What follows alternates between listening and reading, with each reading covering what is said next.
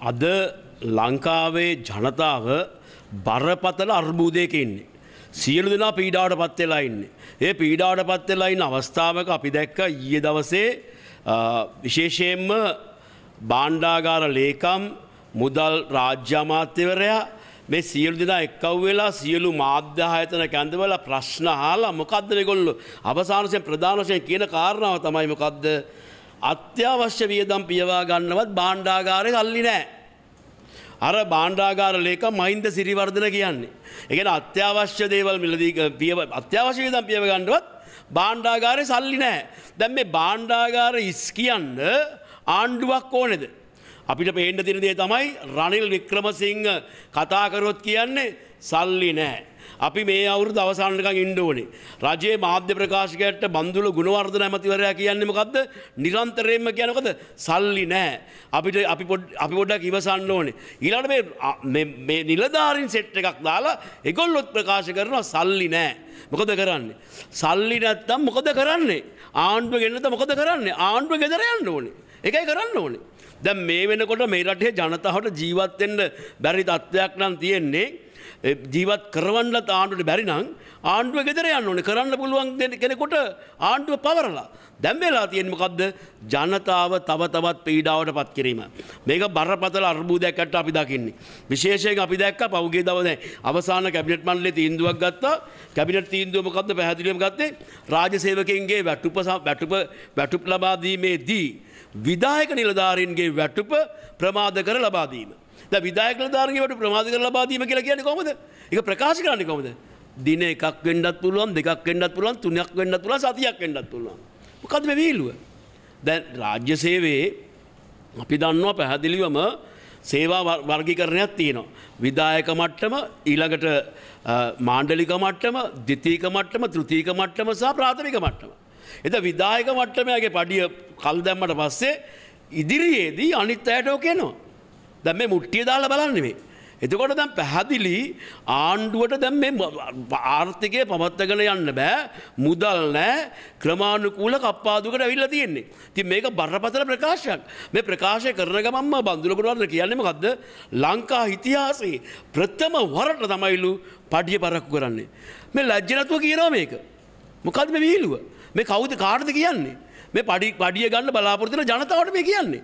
ති මේම ආණ්ඩුවක් කරන්න බැරි නම් මොකටද මේ ආණ්ඩුව ගෙනියන්නේ පවත්තික යන්නේ කොමද දැන් අද වෙනකොට අපි දන්නවා බරපතලම අර්බූදය බඩ පත්වෙලා තියෙන්නේ සුභසාධන ලබාගන්න ශේෂ්ත්‍ර. විශේෂයෙන් අද අධ්‍යාපනය සෞඛ්‍ය බරපතල අර්බූදයකට ගීලා තියෙන්නේ. අද පැහැදිලිම අපි දැක්ක ඊයේ දවසේ ඇඳුනුම් පත් සම්බන්ධයෙන් අපි ඉන්න අද ඒ ජනරාල් ඇඳුනුම්පත් කාරයක් ජනරාල්වරය ප්‍රදීප් සපුතාන්ත්‍රී මහත්මයා කියන්නේ මොකක්ද මේ පුද්ගලයන් ලියාපදිංචි කිරීමේ කොමසාරිස් ජනරාල් ප්‍රදීප් සපුතාන්ත්‍රී කියනවා ඕලෙවල් ලේලෙවල් ළමයින්ට ඇඳුනුම්පත් ගැනීමේදී ඔවුන්ට ඇඳුනුම්පත් කාඩ්ඩගෙනොට කොළයක් දෙනවා. ඇඳුරුම් පදක්වත් දෙ ගීගන්න බෑ ළමයකුට විභාගයක් කරන්න මේ ආණ්ඩුවට බරපතල ප්‍රශ්යම් මේක. ලජ්ජනතු නිලධාරින් පාරටයි ලෝක කියනවා. එතකොට දරුව පීඩාවට පත්වන දෙයක්. අපි දන්නවා දැන් ඉදිරියේදී දැන් මේ පාසැල්වාරය අවසන් වෙනවා එල්ලබෙන මාර්තු මාසේ. එතර අප්‍රේල්වල පාසැල් පටන් ගන්න පළමු පාසැල්වාරය පොට්ටික දී ගන්න බෑ. අද වෙන අපි දන්න පොත්වර්ග ආරසි අතලිස් අයක් තියෙන ළමයින්ට පොත්වර්ගම. විශාල පොත් සංඛ්‍යාවත් තියෙන මේ වච්චු ගාන්ඩ. රුපියල් මිලියන දාසේදාකට වැඩි ඒ වියදම. දැ මෙතන මේ පොච්චික අච්චු ගාල නෑ. දැන් පොත් අච්චු ප්‍රෞද්ගලිකාංශයෙන් පොත් ලබා ගන්නා තැන්වලට මුදල් ගෙවල නෑ. දැන් සම්පූර්ණ අර්බූදයක්. අධ්‍යාපන ඇමතිවරයා කිවීමකක්ද පොත්ගන් පොත්ගාන්න ප්‍රශ්නයක් නෑ ඉන්දයානු නයාධාර ක්‍රමය යටතේ ඉන්දියාවෙන් කොල්ලාම්බෙනවා ප්‍රශ්න ඉවරයි කියලා. අපි මේක පෞගි අවුරුදි දම්ම කිව මේ පෙළපොත් අර්බූදයක් එනවා.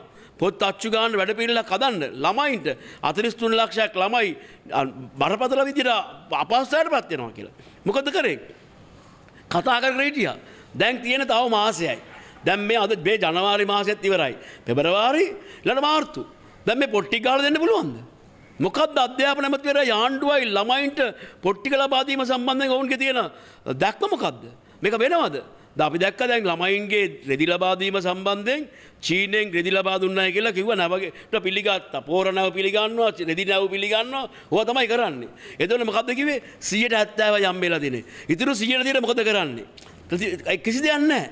අපි ගත්තොත් ගිය අවුරුද්දේ පළමු වසරට ආපු ළමයින්ට රෙද්දක්වත් දුන්නේ නැහැ. හරි? ඒක දුන්නෙම නැහැ. එතකොට මේ වගේ ළමයි සම්බන්ධයෙන් සම්පූර්ණ කටයුතු මගහරිමින් යන්නේ. අපි දන්නවා ළමයි සම්බන්ධ සුරක්ෂා රක්ෂණය රක්ෂණ ආවරණයක් මේක. මේ සුරක්ෂා රක්ෂණ ආවරණයට මුදල් ගෙවන්නේ. එක සම්පූර්ණය මැරන්ඩරල තියෙන්නේ. අද ළමයි ළමයින්ගේ මන්ද පෝෂණ තත්ත්ය සම්බන්ධෙන් කිසිම කතාවක් නෑ. දැන් පෞගිය කාලේ ඔය ගැන කියෝ කියවා හිටිය. දැගෙන කතාවක්වත් නෑ වැඩ පිළිලකුත් නෑ. මේක බරපතල අර්බෝධයක් මේක. කෙන පාසැල් ළමයි සම්බන්ධයෙන් රටේ අනාගතය. මේ රටේ අනාගතය සම්බන්ධයෙන් තිය තීනු තීරණ ඔවුන්ට අවශ්‍ය සම්පත් ලබාදීම ඔවුන්ට අවශ්‍ය ඉගනුම ආධාරක ලබාදීම මේ සියල්ල කරගන්න බැරිවෙලා ඉන්නේ. දෙවගේ අපි දන්න දෙමවපියන්ට ඒ බර දරන්න බෑ.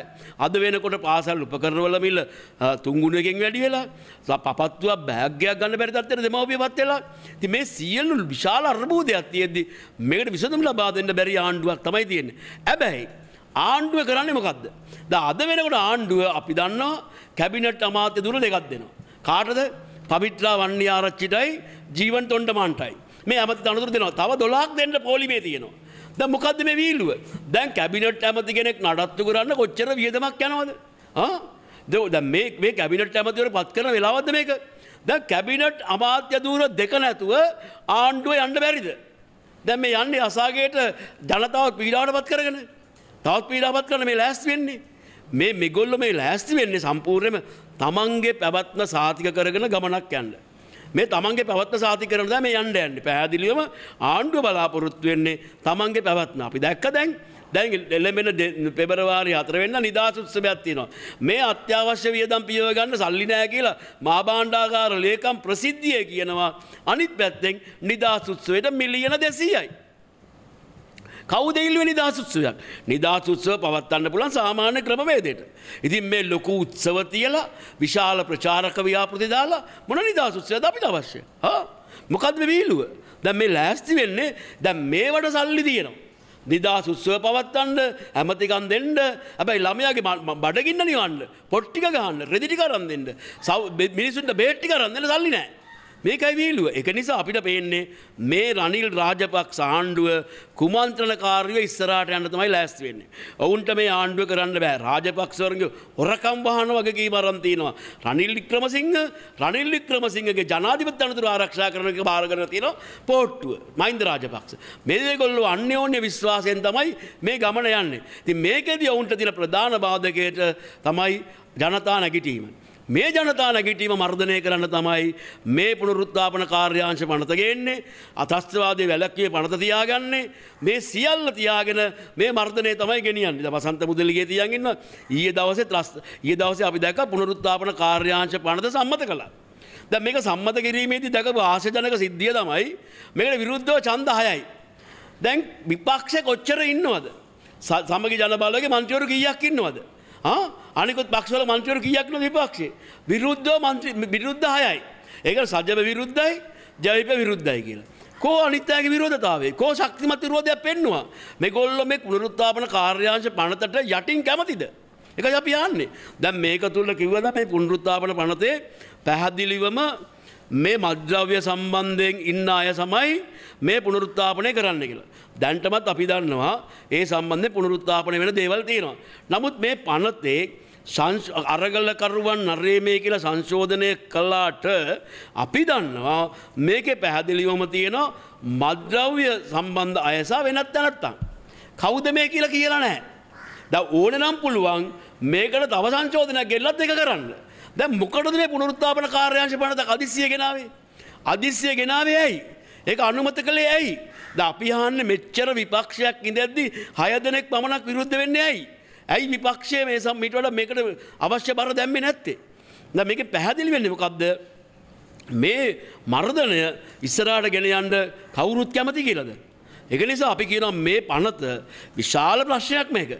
මොකද එක පැත්තකින් ආර්ථික අර්බූදයක් රටේ ජනතාවට ජීවත් වෙන්න බෑ. එක පැත්තකින් බදු වැඩි කිරීම තුළ බදු බදු අය කිරීමට නියමිත සේවාවන් එළියට බැහැලා තියෙනවා. ඒ වගේ මේ වෙනකොට අපි දන්නවා බැංකුවල ණයගත් අයගේ ණය ණය පොලිය 9 ඉඳන් 15 දක්වා වැඩි කරලා තියෙනවා.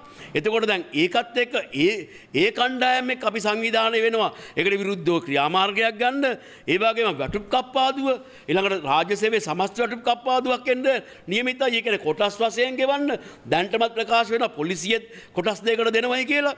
ඊළඟට විශ්‍රාම වැටුප් ලබන අය සම්බන්ධයෙන් ප්‍රශ්නයක්. මොකද අපි දැක්ක විශ්‍රාම වැටුප දිනයක් ප්‍රමාද වුණාම අර ශයහාන් සේමසිංහ කිව්වේ මොකක්ද? මේ මොකක් හරි මේ මේ පරිගණක පද්ධතිය ප්‍රශ්නයක් කියලා තමයි කිව්වේ. පරිගණක පද්ධති ප්‍රශ්නයක් නෙමෙයි බැලලා තියෙන බැලුවම. හරි විශ්‍රාම වැටුප දිනයක් ප්‍රමාද වුණා. මේකයි ඇත්ත කතාව. එතකොට දැන් මෙගොල්ලෝ සම්පූර්ණ මේ රටේ ජනතාවට කොකා පෙන්ලා තමයි යන්න යන්නේ. එතකොට දැන් මෙගොල්ලන්ගේ ගමන යන්න බාධක තමයි මේ බාධක මර්ධනය කරන මර්ධන යාන්ත්‍රණය තමයි මේ හදමින් එන්නේ. පුනරුත්ථාපන පනත, ත්‍රස්තවාදී වැළකීමේ පනත, පොලිසිය ශක්තිමත් කිරීම, අපි දැක පෞද්ගලික කාලේ පොලිසියට ජීප් රථ 500ක් ගෙනාවා. ඉන්දියාවේ. දැන් මොකටද මේවා? හා මේ සම්පූර්ණයෙන් ලෑස්ති වෙන්නේ මර්ධනයට. ඉතින් ඒක නිසා අපි කියනවා මේව වලින් මේ මර්ධනය කරලා මම යටපත් කරන්න බෑ. ආණ්ඩුව ගෙදර යන්නයි තියෙන්නේ. අපි දැක්කා දැන් මෙතන අපි පැහැදිලිවම කිව්වා මේ සියලු අර්බූදයන්ට ප්‍රධානම හේතුව තමයි ආනයන අපනයනයේදී ලංකාවේ පසුගිය අවුරුදු 12ක් තිස්සේ වෙච්ච වංචාවන් කියන කාරණාව. එතකොට ඒකෙදී විජේදාස රාජපක්ෂ අධිකරණ ඇමතිවරයා දෙසැම්බර් මාසේ පාර්ලිමේන්තුවේදී කියනවා මේ ආකාරයෙන් ආනායන අපනායන වංචාවන් තුළ බිලියන බිලියන පනස් තුනක් වංචා වෙලා තියෙනවා කියලා. ඩොලර් බිලියන පනස් තුනක්. ඩොලර් බිලියන පනස්තුනක් වංචා වෙලා තියෙනවා කියලා ඔහු සඳහන් කරනවා. එතකොට ඔහු ඒ සඳහා රජ්‍යය අද වෙනකන් ගත්ත ක්‍රියාමාර්ග කුමක්ද? කිසිම ක්‍රියාමාර්ගයක් කරන්න කෞද මේ පිටි පසින රාජපක්ෂ පවුලගේ දායකත්වය මොකක්ද මේකෙදී. ඒව සම්බන්ධ ගත්ත ක්‍රියාමාර්ග මොනවද. කිසි දෙයක් නෑ ඒව ඒව ගැන කතාවක් නෑ සම්පූර්යෙන්ම මෙගොල්ලන් මෙගොල්ලගේ පැවත් විතරයි අවශ්‍ය නම් මේ සල් යාය ගන්න පුළුවන්නේ. ද මේක ගැන මා බැංකු අධිපතිවරය සඳහන් කළා සියලු දෙනා කතා කරනවා නමුත් ආනයන අප නෑනදී මේ වෙච්ච වංචාවන් සම්බන්ධයෙන් කිසිදු ප්‍රකාශනයක් මෙගොල්ල තුළ නෑ. අපි දැක පෞගේ දවසේ ජනවාරි මාසේ ජනවාරි මාසය අටවෙනිදා ලෝක ප්‍රසිද්ධ ආර්ථික විද්‍යාඥයෝ එකසි අසූ දෙකක් අස්සං කරලා ඔවුන් රටේ ලංකාවේ ආර්ථිකය සම්බන්ධය ප්‍රකාශයක් කරලා තිනවා. ඒ ප්‍රකාශයවුන් ප්‍රධාන කරනවා මේ වංචාව සම්බන්ධය. මෙම ආනයන අපනයනති මගේ වංචාවක් වෙලා තියෙනවා කියලා. කෝයි සම්බන්ධගත ප්‍රියාමාර්ග. ඒවගේම ඔවුන් මේ වාර්තාය සඳහන් කළ ප්‍රධාන කාරණාවත් තමයි මේ ආණ්ඩුවේ දෙදා සිස්තුනට අදාලා අයවැයි ඇස්තමේන්තු එක අයවයි ඇස්තමේන්තු. ආදායම් ලබා ගැනීම සඳහා තියෙන ඇස්තමේන්තු එකන සම්පූර්ණයෙන්ම උපයාගන්න බෑ කියලා පැහැදිලියම කියනතන අපේක්ෂිත ආදායම කිසි විටක උපයාගැනීමට ඇකි ඇස්තමේන්තුවක් නැවෙයි කියලා තමයි කියන්නේ. දැම් මේ අයවැයෙන් ආණ්ඩුව ආදායමක් උපයාගන්න බලාපොරොත්තිනවනගේ ඇස්සමේන්තුව කිසි ලෙසකින් ලබාගන්න බැහැ කියලා ලෝකෙ පුරා ඉන්න ආර්ථික විද්‍යාඥ එකසි අසු දෙකක් කියනවා.